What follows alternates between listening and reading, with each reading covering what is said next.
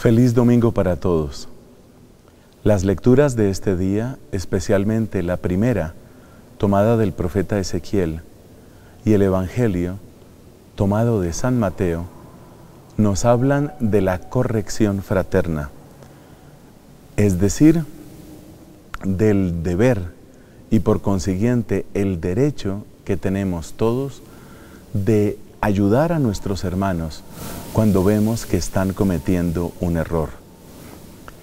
Creo que unas palabras mal entendidas del Papa Francisco le han hecho daño a este mandato bíblico de la corrección fraterna, porque evidentemente para corregir a otra persona es necesario darse cuenta de que está obrando mal y luego es necesario hacerle ver a la persona que está obrando mal. Por eso, aquella frase que en un contexto muy particular utilizó el Papa cuando dijo, ¿quién soy yo para juzgar?, se utiliza de una manera irresponsable para evitar que se cumpla este mandato bíblico y este mandato de Cristo de que tenemos que corregirnos los unos a los otros. Efectivamente, si yo no puedo opinar del comportamiento de nadie, si ni siquiera puedo pensar en mi cabeza que la persona está equivocada, pues mucho menos voy a poder corregirla. Entonces fíjate que la Biblia sería un libro absurdo, porque nos estaría mandando algo que luego la misma Biblia prohíbe. Es decir, nos estaría mandando que nosotros tenemos que corregir pero resulta que no podemos corregir porque toda corrección sería como juzgar. Toda esta confusión proviene de no hacer una adecuada distinción entre lo que es juzgar a las personas y lo que es juzgar los actos. Juzgar a una persona, como se entiende en la Biblia, es pronunciarse sobre el destino de esa persona. En eh, la Biblia, en el Antiguo Testamento, la persona que juzga, el único autorizado para juzgar es Dios, porque un juicio es definir el destino de una persona. Este vive, este muere, este está condenado a la cárcel, este queda en libertad. Juzgar en la Biblia tiene ese sentido, definir el destino de una persona. En cambio, cuando nosotros hablamos de lo que es juzgar los actos, es darse cuenta que una persona está obrando mal. Y efectivamente Cristo juzgó los actos de muchas personas.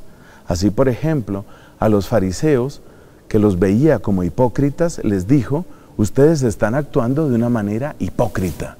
Eso es juzgar de los actos de una persona.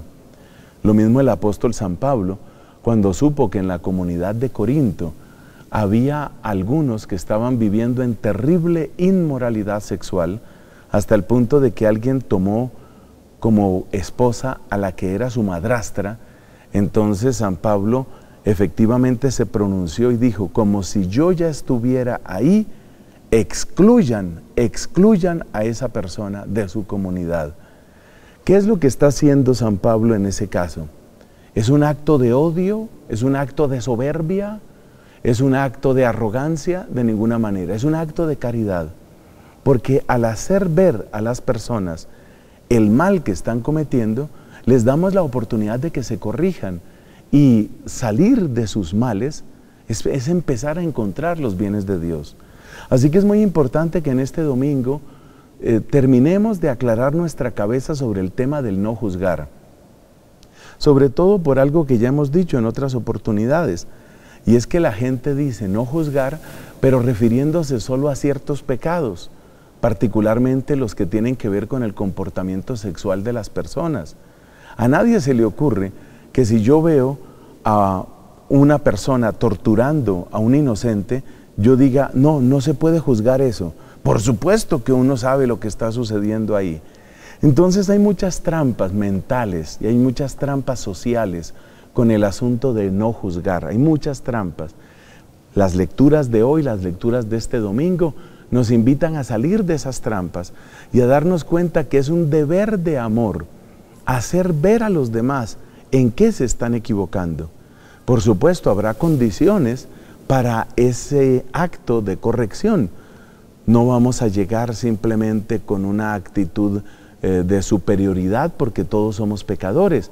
No vamos a llegar con una actitud dramática y trágica porque el primero que le está dando tiempo de conversión a ese ser humano equivocado es Dios. Entonces nosotros no vamos a llegar con una actitud trágica ni con una actitud dramática que, simplemente no ayuda. Y tampoco vamos a llegar con una actitud egoísta como el que simplemente le dice al otro, ahí tiene ese problema, ahí verá qué hace. Muy al contrario, de lo que se trata aquí es de cómo se puede ayudar. El que denuncia un pecado tiene que estar siempre dispuesto a ayudar. Esto nos enseña la escritura y esto, repito, es deber y derecho de todo cristiano.